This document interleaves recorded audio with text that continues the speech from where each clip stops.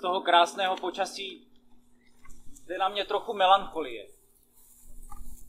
Všechno to slunce a ty dlouhé teplé dny, všechno to léto. Nemůžu za to.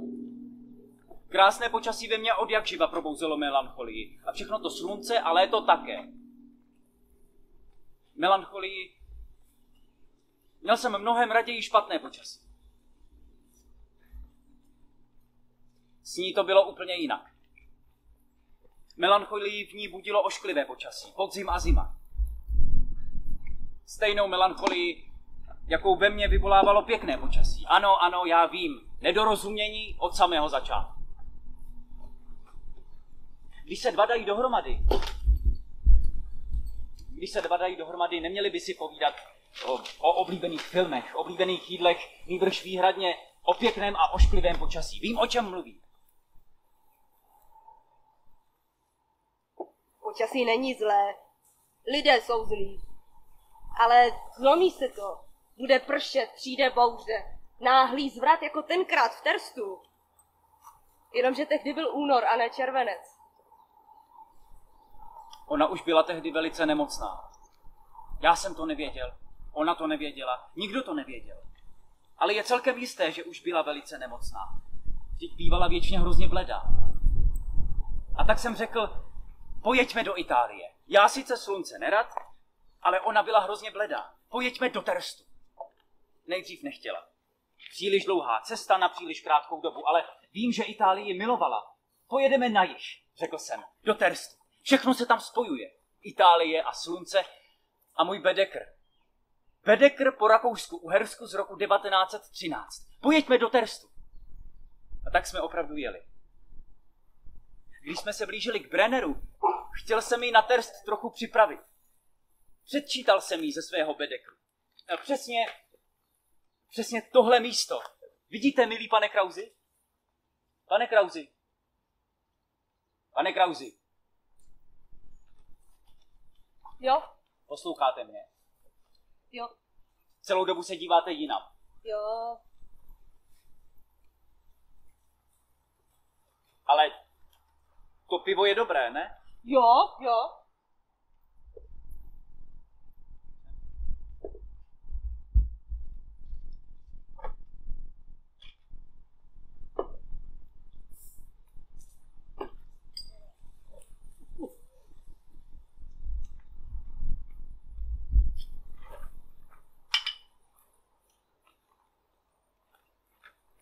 To je dobře. Jo. Nikdo vám neotevře pivo jako pola. Kola. Ano. Pola. Naše pola. Ta kola je přece mrtvá. Pola je přece... Jsem to... Nemůžete mě pořád přerušovat. Vlak, Brenner, Bedekr. Chtěl jsem ji na terst trochu připravit. Přečítal jsem jí ze své Bible, eh, ze, své, ze svého bedekeru, ze své knihy, ze knihy svého života. Přesně. Neměl byste tolik pít, pane Krausi. I když vám pivo tolik chutná, pivaři nejsou hezké mrtvoly. Otec to vždycky říkal a on to musel vědět. Ve svém žárovišti v Reichenbergu, dnes už v Liberci, viděl spoustu mrtvých pivařů. To není pěkné, že pijete tolik piva. Není to zdravé. Bedekr, chtěl jste něco přečítat. A jo, přesně tak, přesně tak. A tady, tady. Terst. Pro Římany Tergeste od roku 1382 patřící k Rakousku. Hlavní město Přímoří a jediné z velk, velké námořní obchodní místo Rakouska s 230 tisíci obyvateli. Italové a Slovinci a Němci převážně moderní město a tady nemají výhody přírodního přístavu, děčí Terst za svůj první rozmach péči císaře Karla VI., který z něj v roce 1719 učinil svobodný přístav a za vzestup ve druhé polovině 19. století výstavbě Semeringské dráhy. Ano, ano, Semeringská dráha, mistrovské dílo císaře Karla von Gégy, jeho životní dílo. Milý pane Krausi, pochopitelně jsem chtěl jet do Terstu Semeringskou drahou. Nechtěl jsem ji ovšem trápit a zatěžovat. V úvahu přirozeně přicházela i překrásná bohynižská železnice, nejkratší a nejrychlejší spojení Reichenbergu, dnes už Liberce, s Prahem a Terstem. Při nejmenším podle jízdního řádu z roku 1913. Jenomže trať je dnes přerušena. Smutné, smutné. Jede z toho na mě trochu melancholie. Celá střední Evropa do dneška vypadá jako po výbuchu. Nemyslíte, pane Krauzi? Sice zase srůstá, ale pomalu. Příliš pomalu. Ano, ano, staré války a staré problémy nepřekolejíte tak snadno jako Alpy. Rytíře Karla von Gegu by to nepotěšilo. Ani mě to netěší. Cestou do Terstu jsem na to myslel, ale nechal jsem si to pro sebe, však víte. Záchvaty historie. Překolejení Alp Brennerskou Prahou je také překrásné překolejení. Pochopitelně ne tak krásné z technologického hlediska, ani tak úžasné, jako pra pra pra překolejení Semeringskou drahou. Ovšem ani těmito srovnáními jsem ji nechtěl trápit a zatěžovat. Záchvaty historie. Konec konců, jeli jsme do Itálie na dovolenou. Ano, ano, v takovém případě by se člověk neměl trápit a zatěžovat. Kde jsem to zase byl? Milý pane Krauzi. A ano, nesmíte mě věčně přerušovat. Přesně tak. Přesně tak. Přesně tak. Brenner, musíte tam někdy vystoupit, pane Krauzi. Musíte si prohlédnout stavědlo. Stojí tam jako stará, němá pevnost. Co ta pevnost všechno nezažila? Neviděla, císař tam byl, Mussolini tam byl, Hitler tam byl. Šílené, šílené. Máte pravdu, pane Krauzi. Šílené. Všechno je to šílené. Přečetl jsem jí z Bedekru jenom kousíček. A průvodčí řekl Že vlak bude brzy v Itálii. v Jižním Tyrolsku. Brzy budeme stát na balkóně a koupat se ve slunečních paprscích, které má tak ráda. A které já tak rád sice nemám, ale na tom nezáleží, hlavně aby jí bylo lépe. A opravdu to tak bylo. Jí se najednou vedlo mnohem lépe. Ve Veroně už bylo jaro. Ona rozkvétala od nádraží k nádraží víc a víc. Usmívala se a byla šťastná, že jsme v Itálii. Ale nejpozději ve Veroně jsem si všiml, že se mi svým vyprávěním, svými znalostmi historie a e, techni- železnice a techniky Svými záchvaty historie. přece jen trochu trápil a zatěžoval. A tak jsem až do Terstu byl úplně sticha.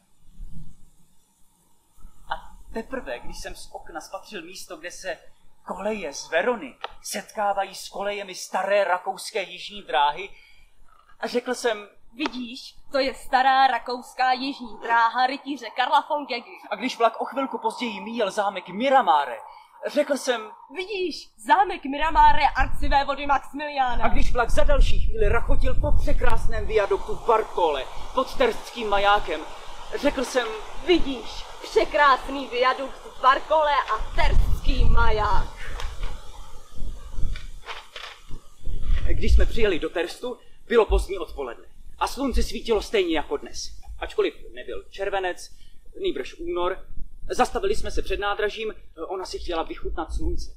Chtěla se koupat v jeho paprscích a také to udělala. A já ji při té sluneční koupeli vyfotografoval v parku před sochou císařovny Alžběty. Na žádné fotografii není šťastnější než právě tady. Na žádné fotografii jí to tolik nesluší. Sluší to mnohem víc, než Alžbětě před nádražím Trieste Centrále, které se tehdy v mém bedekru pochopitelně jmenovalo Jižní nádraží, jak snad víte, pane Krauzi. Pane Krauzi, Co, co je? vy spíte. Ne. No, vy opravdu spíte, vždy to vidím. Ne. Je tu víc. Ale pivo není teplé. Ne. Pivo nesmí být teplé ani nejteplejší den v roce.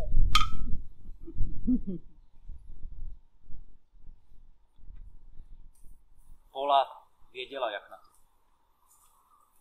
Druhý den ještě svítilo slunce.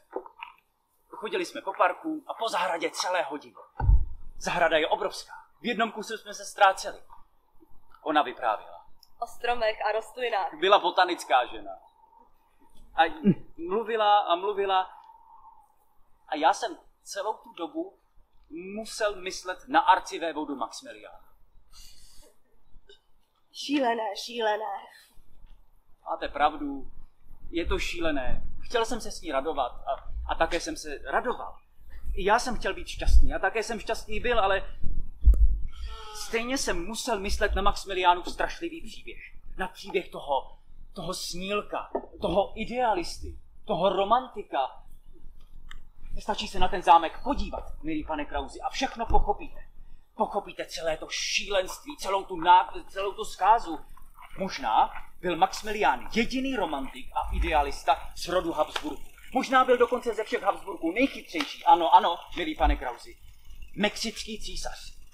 Z Miramare odešel do Mexika, neboť se domníval, že mexický lid neprahne po ničem toužebněji než po habsburském císaři. Možná si myslel, že je lepší být císařem mexickým než vůbec žádným císařem, ale Maximilián se spletl na celé čáře.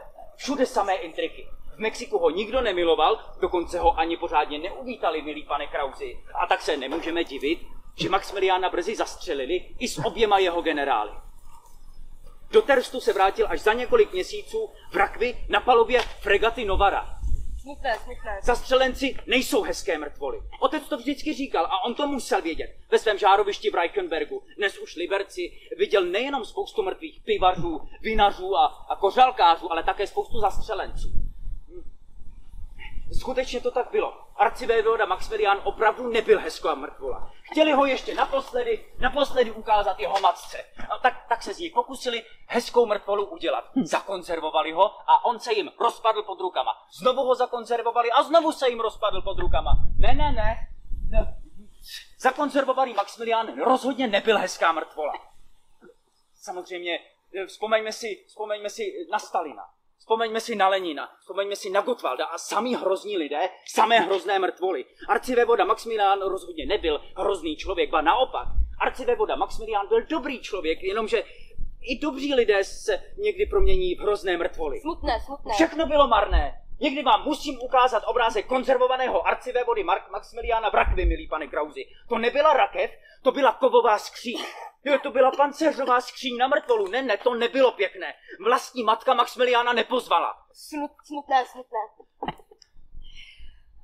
Já jsem to... Nemůžete mě pořád přerušovat. Zámek v Terstu, park, žena, stromy.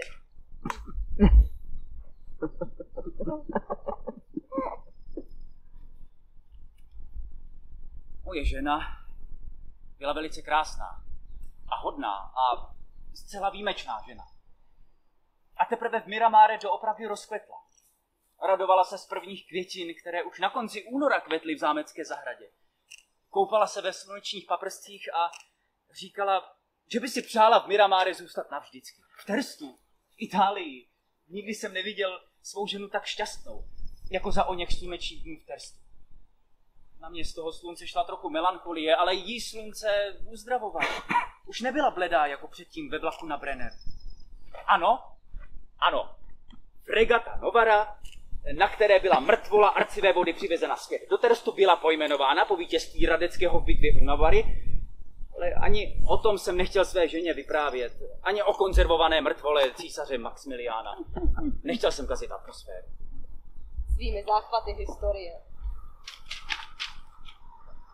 Moje žena mluvila a mluvila a byla šťastná. A já stejně musel myslet na Maximiliánovu konzervovanou mrtvolu. A na Charlotu Belgickou. Maximiliánovu koč. Ona sice arcivé vodu o mnoha desítek let přežila, avšak krátce po jeho smrti se vrhla do mentálního vyšinutí. Už nikdy se z toho tunelu, z té soutězky, z toho mentálního hrobu nevrátila. Charlota Belgická byla naprosto zdrcená a vykolejená a vyčerpaná. Charlota Belgická si dlouho myslela, že její muž stále žije, že je skutečně císařem a vládne nejenom Mexiku, nýbrž celému světu, celému univerzu. Ale tak to v životě často chodí. Já jdu pro pivo.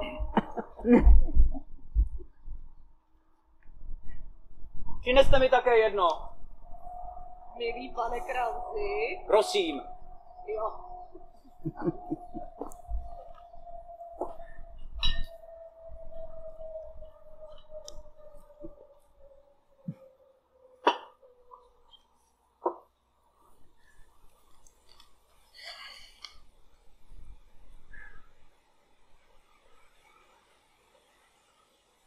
nikdo neuměl otevírat pivo lépe než pohá.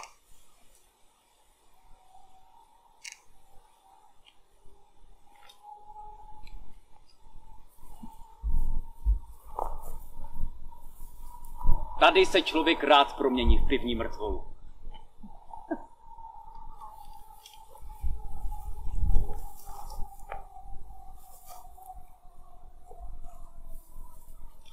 To není pola, Pola je mrtvá. Ale já vidím polu. Je to chlap. Kraus. Nemusím si vykládat, co vidím nebo nevidím. Vidím polu. Kde jsem to? Záchvaty historie. Mě mimochodem víc než zámek Miramáre zajímalo spíš místní nádražíčko. Vlastně jen dvě koleje. Spíš zastávka než pořádné nádraží, ale s překrásnou nádražní budovou. V mých očích mnohem hezčí než celý velkolepý zámek Miramáre. Přijeli jsme z Terstu do Miramáre vlakem a zase jsme se vlakem vraceli zpátky. Vlak měl, vlak měl spoždění, museli jsme tedy na peronu déle čekat a v tom jsem si všiml, že v domě někdo bydlí. Starší muž. Ne, nejspíš bývalý železničář, voda Miramarský, který tam žije v rachotu vlaku. Chtěl jsem ho oslovit a také jsem ho oslovil, ale on se se mnou nechtěl bavit. Jenom se na mě mlčky díval. Chtěl jsem mu říct, jak krásně si vidí. Já přece vlaky a železnice od jak živa miluji. Od jak živa jsem chtěl být železničářem. Tohle všechno jsem mu chtěl povědět. Jenomže pak přijel vlak a my jsme odjeli zpátky do Terstu. A pak, a pak jsme se šli najíst. Jídlo mě velice zklamalo. Chtěla jsem pizzu a těstoviny a ryby, chtěla jsem pít ušlechtilé víno. Všude ale podávali jenom uzené se zelím a pivo, jako v Čechách. Nikde, nikde jsem nejedl tak dobré české zelí, jako v Terstu.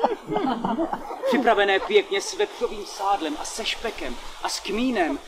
A to pivo, milý pane Krauzi, vy jako pivař rozhodně musíte jet do Terstu. E, Pola se naučila otevírat pivo na jarmarku. Kde jsem to zase? Byli jsme v Terstu. To je pravda. Terst, pro Římany, Tergeste, Vyprávěl jsem o kávovém přístavu, o té spoustě jazyků a národů v Terstu. Jenže mě to nezajímalo. Další záchvat historie, řekla jsem. A měla jsem pravdu. A moje žena byla zase bledší a smutnější. A když jsme vyšli z hostince, zjistili jsme, že se kazí počasí.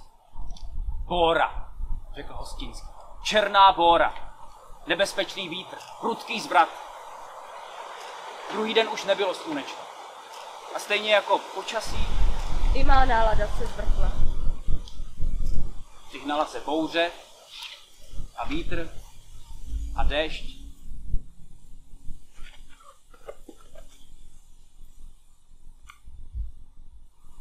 To není pola, pola je mrtvá. Já vidím polu. Je to, je to chlap. Kraus. Nemusím si vykládat, vidím. Vidím polu. Byla jsem hrozně ztrcená a vykolejená a vyčerpaná. Odmítala jsem víc z hotelu, chtěla jsem být sama a spát. A tak jsem vyrazil bez tebe. Já špatné počasí miluji, protože když je ošklivo, jste na místech, která chcete navštívit většinou sám. Turisty, turisty já nepotřebuju. Ne, ne, ne, turisty, turisté všechno jenom Turisté všechno jenom zničí. Turisté trpí historickou slepotou. Smutné, smutné. Na některých rozích jsem se musel přidržovat dlouhých provazů. Ano, ano. Jako na palubě lodi na rozbouřeném moři. Tolik foukal. Ale mně to připadalo báječné.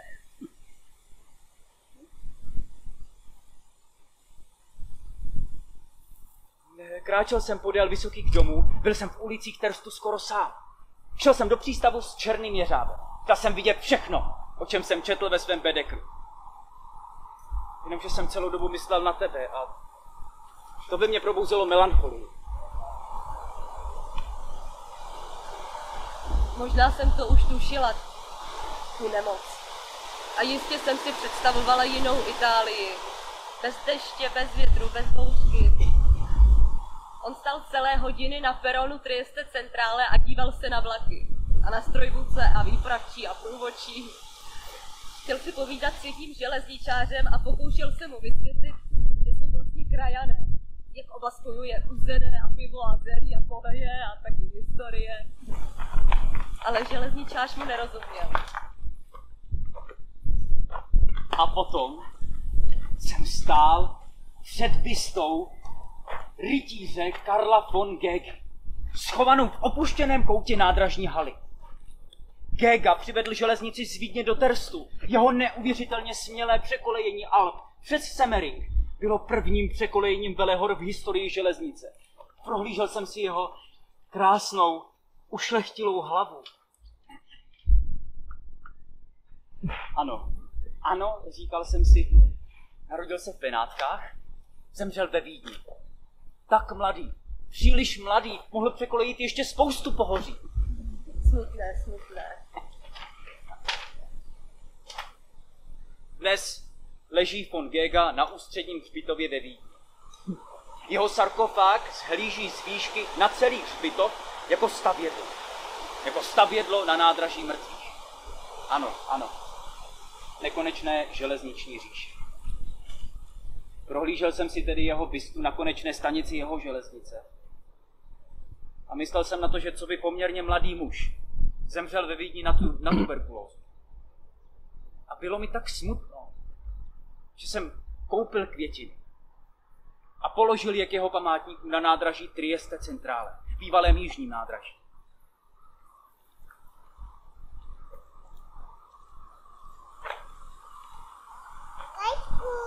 Najednou se mi udělalo tak slabo, tak nevolno. Najednou jsem byl tak zdrcený a vykolejený a vyčerpaný. Najednou jsem věděl, že stejně jako teď tady v Terstu pohřbívám rytíře Karla von Gegu a kladu květiny k jeho pomníku. Brzy budu pohřbívat i tebe a klást květiny na.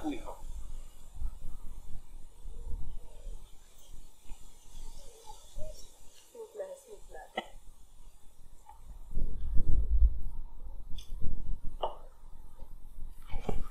To není Pola.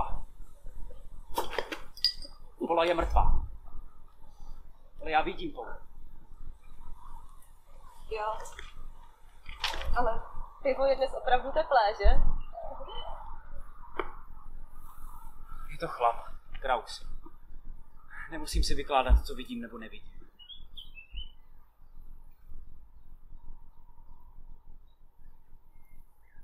Ale mě pivo vlastně chutná vždycky. Já vím. To nevadí. Pivaři sice nejsou hezké mrtvoly, ale ostatní mrtvoly na tom nejsou o nic lépe. Tvůj otec to vždy říkal a on to musel vědět. Chtěl jsem jet tramvají nahoru do Opici. Elektrickou drahou, jak stojí v mém bedekru. A také jsem tam jel.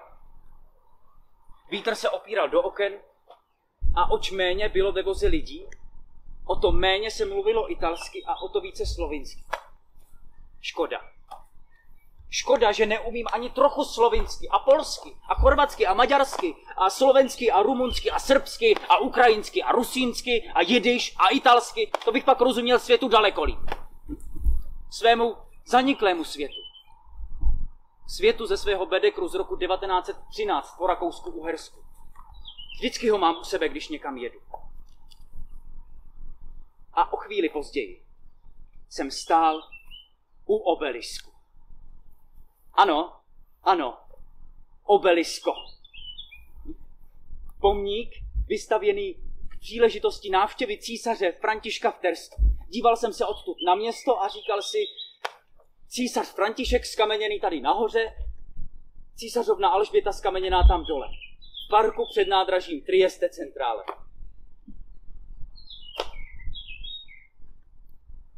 Všichni úplně zdrcení a vykolejení a vyčerpaní historií a historkami. Je to chlap, Kraus. Nemusím si vykládat. Vidíš Polu? Ona je mrtvá. Je mrtvá. Tak to je. Smutné, smutné. Většina lidí nemá špatné počasí ráda. Většinu lidí špatné počasí drtí. Špatné počasí vrhá spoustu lidí do duševního vyšinutí. Stejně jako smrt arcivé vody Maximiliana vtáhla do duševního vyšinutí jeho choť Charlotte. Ale já si nemůžu pomoct. Když je ošklivo, připadám si kolný. Jsem šťastný.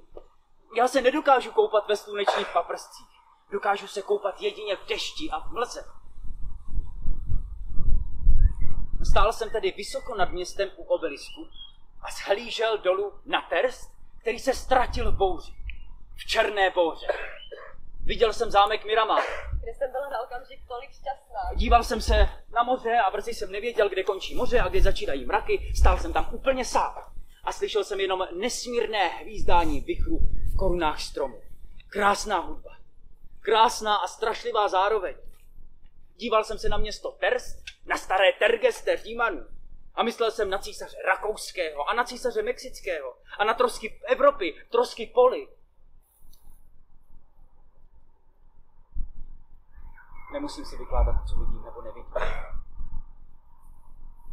Myslela jsem na stíny historie v mém životě. Myslela jsem i na tvého otce a jeho žároviště, na jeho chrám smrti, jeho zámek, který zanikl v žárovišti války, stejně jako o pár let později zanikla v ještě větším žárovišti ještě větší války celá Evropa. Celá Evropa a celý svět, všude suť a popel. Já vím přesně, naprosto přesně, co chceš říct. Evropa není a nebyla hezká mrtvola. Šílené, všechno je to šílené. Máš pravdu, je to šílené. A pak jsem zase myslel na tebe, že jsi cestu do Itálie představovala úplně jinak. Viděl jsem tě, jak posloucháš děsivé svištění bóry.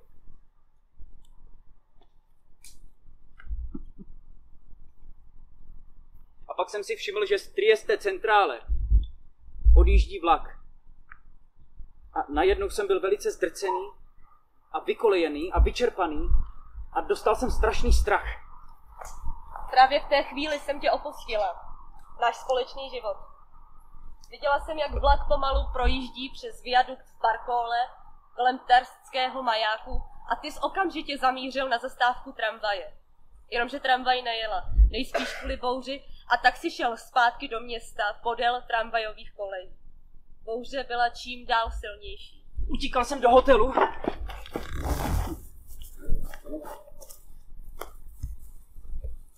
A skutečně byla si pryč.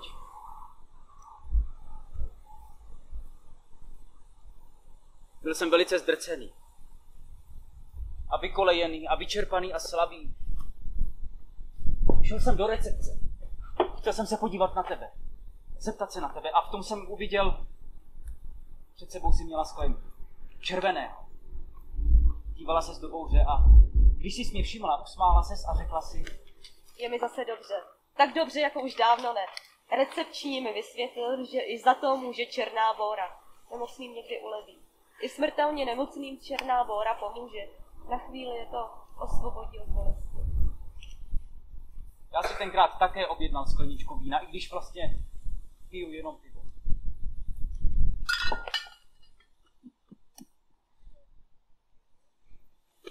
Ano, ano, musíme, musíme spolu rozhodně zajet do, do Terstu. Všechno ti ukážu.